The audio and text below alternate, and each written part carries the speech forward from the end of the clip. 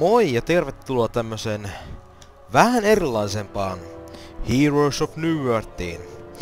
Mä oon paljon puhunut siitä, mä ajattelin tehdä tämmösen tota niin, tutorialin tyyppisen Heroes of New Earthin, ja nyt mä ajattelin toteuttaa sen. Ainakin näen aluksi. Eli tässä on ensimmäinen osa, miten pääst Heroes of New Earthin maailmaan.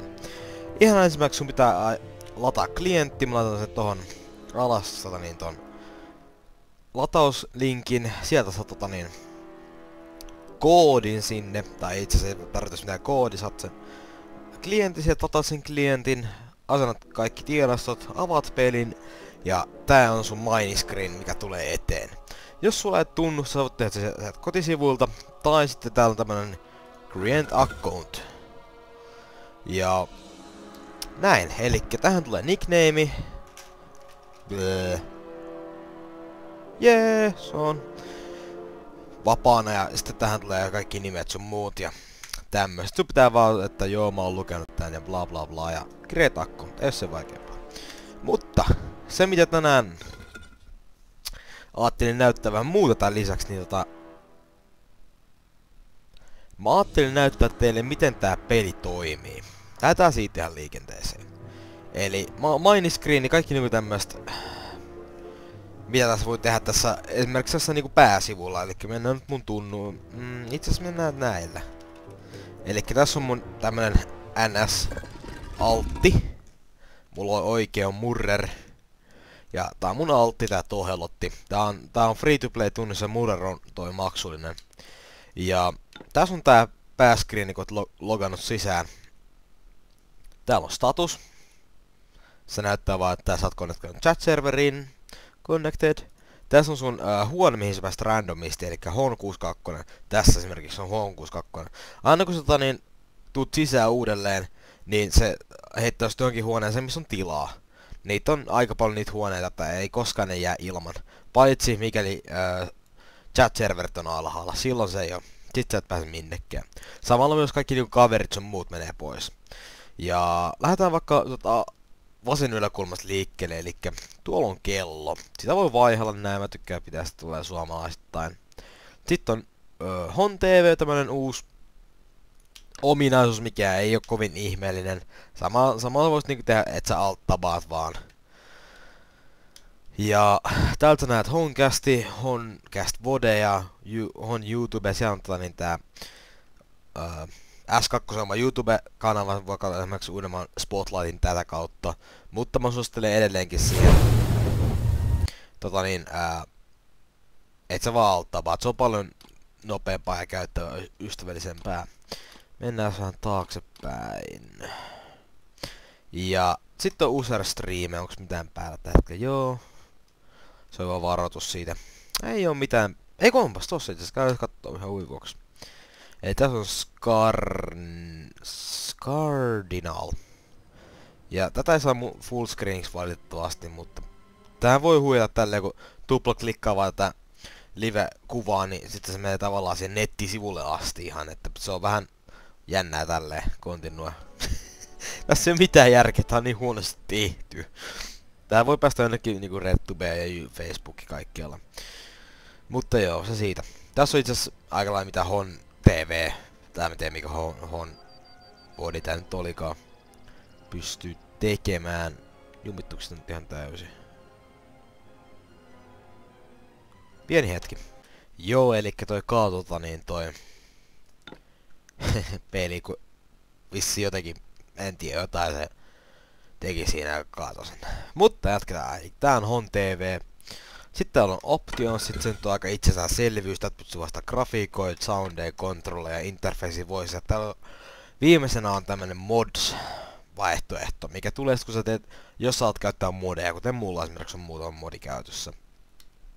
Helpottaa vähän pelaamista, ei mitenkään semmosia pieniä, pienet asiat.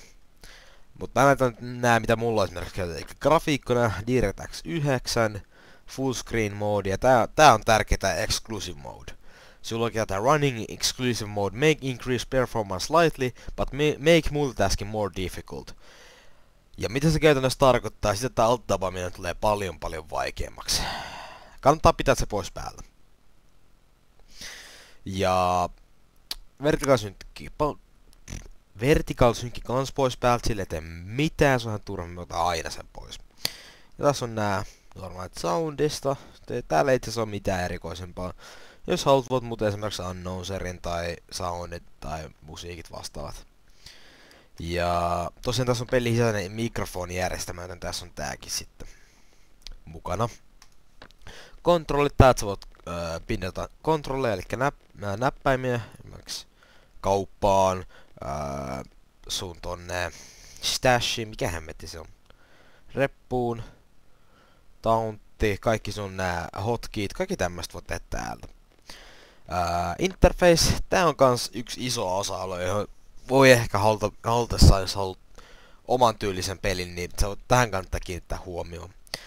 Eli täältä löydät kaikki nää. Tää, on, tää ei oo asetuksena tämmönen. Tai on itse asiassa aika lailla, melkein 90 prosessisesti. Meillä on itse asiassa varmaan yhden tai kaksi muuttanut täältä. Ja sä voitte itse haluta tehdä mitä haluat, eli always show health bars, kaikki nämä on asetuksena. Tää on ainoa mitä mulla vissi on pois päältä. Eli öö, kaikki kirjosanat, fuck, shit, kaikki tämmönen. Jos sulla on tää päällä, se kone tunnistaa automaattisesti, jos siinä sanassa on se, tai se sana on siinä, se laittaa sen tota niin tähdiksi.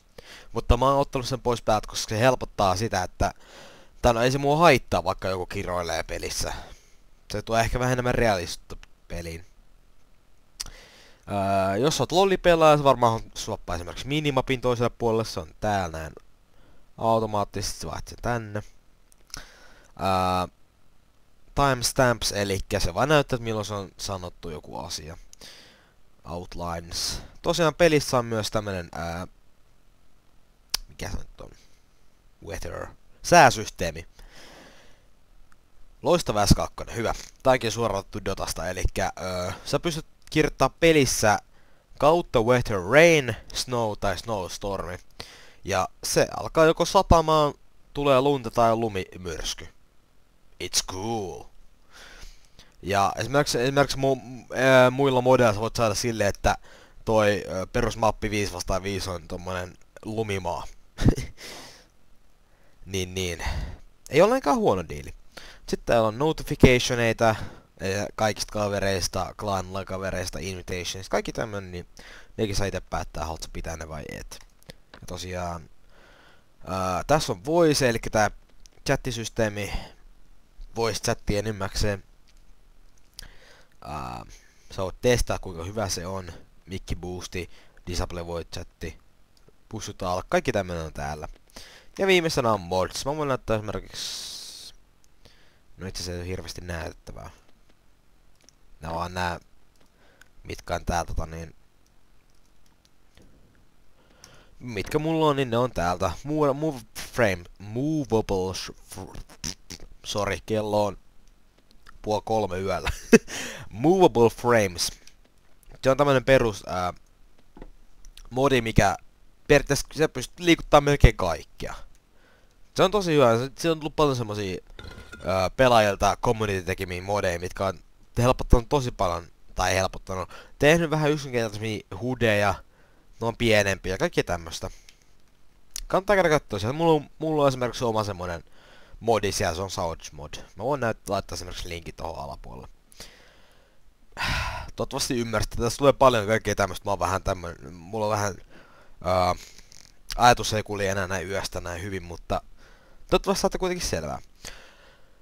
Optionissa jälkeen on replayt, eli ladatut replayt. Täältä löytyy kaikki replayt, mitä sä oot ladannut. Toisin kuin esimerkiksi League of Legends, sulla on täällä automaattinen replay-systeemi tässä pelin sisällä. Ja ää, mä voin näyttää kun me päästään siihen asti, että miten sä voit lataa ne replayt. Sä voit lataa esimerkiksi... Jos sulla on joku vanha replay jossain tallella, sä voit sitä käyttää, vaikka se olisi niinku... No ei nyt ehkä... Sanotaan vaikka 20 pätsiä vanhempi. Mä en tiedä sanoiko pätsit teille mitään, mutta se on about öö, kolme neljä kuukautta vanha peli. Niin oot silti katsoa sen, koska tää osaa tää kone hakee, tai tää tehty, systeemi on tehty silleen, että se hakee sen aikaisen patchin ja lataa sen replayn ajaksi siihen, joka käyttää sitä järjestelmää sitten. Se on tosi kätevä. Tästä näkee sitten kaikki myös ää, Match ID, versionit, kaikki tämmöistä. että vaikka on vähän vanhempaa, niin